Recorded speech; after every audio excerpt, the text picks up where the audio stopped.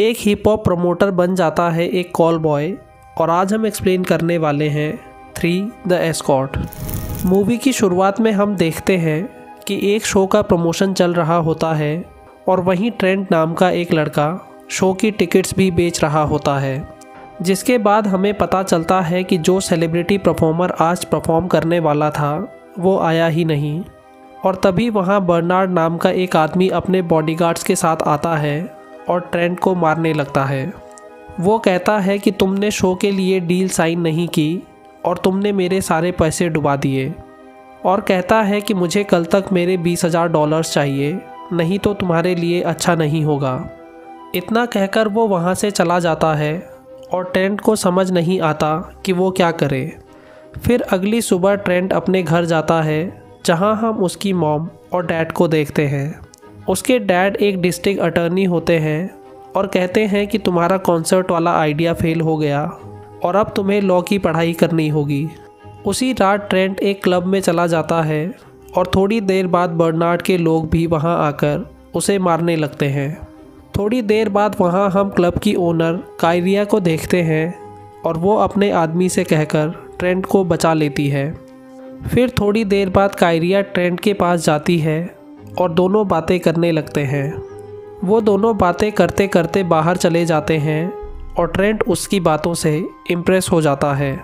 और कायरिया कहती है कि मेरी एक फ्रेंड नेटली, जिसे तुम पसंद आ गए हो और वो तुम्हारे साथ कुछ टाइम स्पेंड करना चाहती है।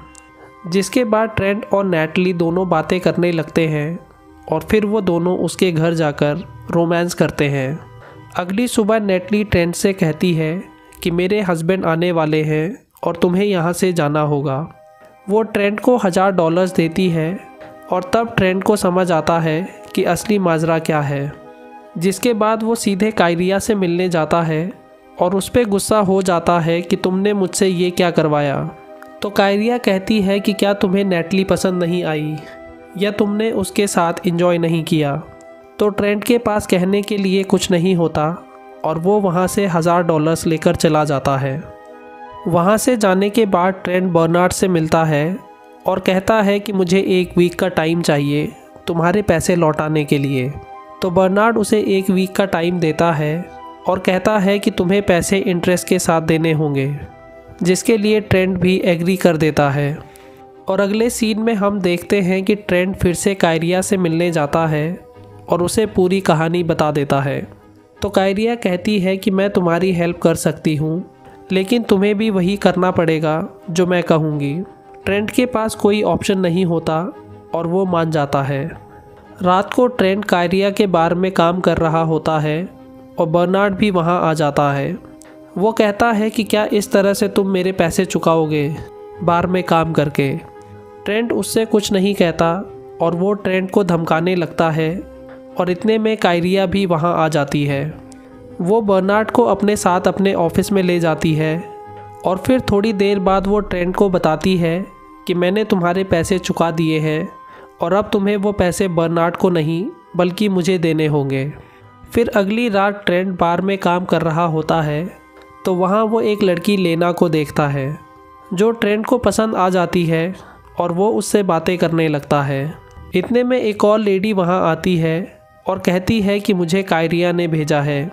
ट्रेंट समझ जाता है कि उसे क्या करना है और फिर वो दोनों उस लेडी के घर जाकर रोमांस करने लगते हैं। फिर अगले दिन ट्रेंट अपने फ्रेंड से मिलता है, जिससे उसे पता चलता है कि बर्नार्ड मर चुका है और किसी ने कल रात को उसका मर्डर कर दिया था। ये बात सुनकर ट्रेंट को शौक लग जाता है और वो समझ जाता है कि ये काम कायरिया ने ही करवाया होगा। अगले दिन से कायरिया ट्रेंट की ट्रेनिंग शुरू कर देती है और कहती है कि तुम्हें अपने हर कस्टमर्स की नीड्स का ध्यान रखना होगा और उसकी हर तरह की ज़रूरतों को पूरा करना पड़ेगा, जिसके बाद ट्रेंट एक एक करके अपने कस्टमर्स से मिलने लगता है और उनके साथ रोमांस भी करता है। फिर कुछ दिनों बाद जब ट्रेंट अपने दोस्त के साथ होता है तो दो पुलिस वाले उससे आकर मिलते हैं। वो उससे बर्नार्ड के मर्डर के बारे में पूछताछ करते हैं और कहते हैं कि तुम्हारी बॉस कायरिया की बर्नार्ड के साथ हिस्ट्री रही है। वो उसे अपना कार्ड दे देते हैं और चले जाते हैं। ट्रेंट इस सबसे घबरा जाता है और इसके बारे में पूछने के लिए कायरिया के पास जाता है।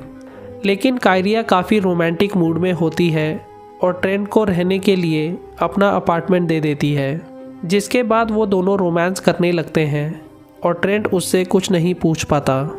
फिर अगली सुबह ट्रेंड लेना से मिलता है और लेना उसे बताती है कि रेवन मर चुकी है। वो कहती है कि उसकी मौत ड्रग ओवरडोज से हुई, लेकिन मुझे पता है कि ये कायरिया ने किया है, क्योंकि रेवन काम छोड़ना चाहती थी और कायरिया को ये पसंद नहीं था। उसकी बातें सुनकर ट्रेंड घबरा जाता है और कहता है कि मैं यहाँ से जा रहा हूँ। फिर कुछ दिनों बाद हम देखते हैं कि ट्रेंड का बर्थडे होता है और आज कायरिया के पास उसके लिए एक सरप्राइज़ गिफ्ट होता है। और जैसे ही वो दोनों अंदर जाते हैं तो हम वहाँ लेना को देखते हैं। कायरिया को पता होता है कि ट्रेंट लेना को पसंद करता है और वो लेना को ट्रेंट के साथ रोमांस करने के लिए ले आती है और फिर वो तीनों एक साथ रोमांस करने लगते हैं। कुछ दिनों बाद ट्रेंट फिर से लेना से मिलने उसके घर जाता है, जहाँ उसे पता चलता है कि लेना पेंटिंग करती है। जिससे वो काफ़ी इम्प्रेस होता है और कहता है कि इन्हें एग्जीबिशन में लगाना चाहिए और अगर तुम चाहो तो मेरी मॉम तुम्हारी हेल्प कर सकती है। वो दोनों काफ़ी खुश लग रहे होते हैं और थोड़ी देर बाद रोमांस करने लगते हैं। अगले दिन जब ट्रेंट एक लेडी के साथ कहीं जा रहा होता है तो वो दोनों पुलिस वाले फिर से ट्रेंट के पास आ जाते हैं। वो कहते हैं कि जो कोई भी कायरिया को छोड़ने की बात करता है तुम अच्छे से जानते हो कि उसका क्या हश्र होता है। और कहते हैं कि तुम हमें उसके खिलाफ सबूत लाकर दो और हम तुम्हें बचा लेंगे। वरना लोगों को पता चलेगा कि एक लॉयर का बेटा जिगोलो है तो उन्हें कैसा लगेगा। इतना कहकर वो लोग चले जाते हैं और वहाँ से ट्रेंड सीधा लेना के पास चला जाता है। और दूसरी तरफ़ कायरिया को भी पता चल जाता है कि ट्रेंड और लेना के बीच चक्कर चल रहा है। फिर अगले दिन जब ट्रेंट अपनी क्लाइंट से मिलने जाता है और जब वो दोनों रोमांस करने लगते हैं तो उसका पति वहाँ आ जाता है। वो गन निकालकर ट्रेंट को एक रूम में लॉक कर देता है और जब ट्रेंट कायरिया को फ़ोन करता है तो उसे पता चल जाता है कि कायरिया ने ही उसे फंसाया है। वो किसी तरह अपनी जान बचाकर वहाँ से निकलता है और सीधे लेना के पास चला जाता है। और जब वो लेना से मिलता है तो देखता है कि लेना के फेस पर भी एक चोट का निशान है और वो कहती है कि कायरिया ने ही ये काम किया है और उसे हम दोनों के बारे में भी पता चल चुका है। इस बात से ट्रेंड गुस्सा हो जाता है और सीधे जाकर उन दोनों पुलिस वालों से मिलता है। वो कहता है कि मैं कायरिया के खिलाफ सबूत लाकर तुम्हें दूँगा, लेकिन मेरा नाम इसमें कहीं नहीं आना चाहिए। और अगर कायरिया जेल गई तो उसका पूरा बिज़नेस लेना संभालेगी। जिसके लिए वो दोनों भी एग्री हो जाते हैं। उसके बाद ट्रेंट लेना को भी पूरा प्लान बता देता है और प्लान के मुताबिक कायरिया के ऑफ़िस चला जाता है और वहाँ से उसके सारे डॉक्यूमेंट्स निकाल लेता है। और जब वो डॉक्यूमेंट्स लेकर बाहर निकलने लगता है तो कायरिया का आदमी कोयनाक उसे मारने लगता है। वो दोनों लड़ने लगते हैं और थोड़ी देर बाद ट्रेंट कोनियाक को भी मार देता है। इतने में कायरिया भी वहाँ पहुँच जाती है और ट्रेंड को शूट कर देती है। वो ट्रेंड पे बहुत गुस्सा होती है और जैसे ही वो उसे दोबारा शूट करने वाली होती है, तभी लेना वहाँ आकर कायरिया को शूट कर देती है। फिर कुछ टाइम बाद हम देखते हैं कि ट्रेंड के पेरेंट्स लेना को सपोर्ट करने के लिए एक आर्ट एग्जीबिशन ऑर्गेनाइज करते हैं और उसकी पूरी तैयारी ट्रेंड ने ही की होती है।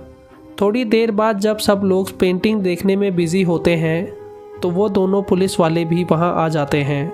जिनमें से एक ट्रेंड से बातें करने लगता है और इसके बाद ट्रेंड को सब समझ आने लग गया था। वो लेना के पास जाकर पूछता है कि तुम्हें कायरिया की बुक कैसे मिली? तो वो ट्रेंड को बताती है कि कायरिया के जाने के बाद किसी को तो बिज़नेस संभालना था तो मैंने सोचा कि मैं क्यों नहीं? फिर हमें पता चलता है कि ये सारा प्लान लेना ने ही किया था और रेवन और उसके दोस्त को भी लेना ने ही मारा था। अपने फेस पर चोट के निशान भी उसने खुद ही कोनियाक से बनवाए थे और दोनों पुलिस वाले भी लेना के लिए ही काम कर रहे थे। ट्रेंट ये सुनकर गुस्सा हो जाता है कि लेना ने उसका इस्तेमाल किया था, लेकिन वो किसी से कुछ नहीं कह सकता था। क्योंकि लेना उसे बताती है कि तुम्हारे फादर का नाम भी उस ब्लैक बुक में है, जो कायरिया के पास थी। इतना कहकर लेना वहाँ से चली जाती है और यहीं पर हमारी मूवी भी ख़त्म हो जाती है। दोस्तों, आपको ये स्टोरी कैसी लगी? हमें कमेंट सेक्शन में ज़रूर बताइए। वीडियो को लाइक और चैनल को सब्सक्राइब ज़रूर कर दीजिएगा। हमारे टेलीग्राम चैनल को भी ज्वाइन कर लीजिएगा, जिसका लिंक आपको डिस्क्रिप्शन में मिल जाएगा। Thanks for watching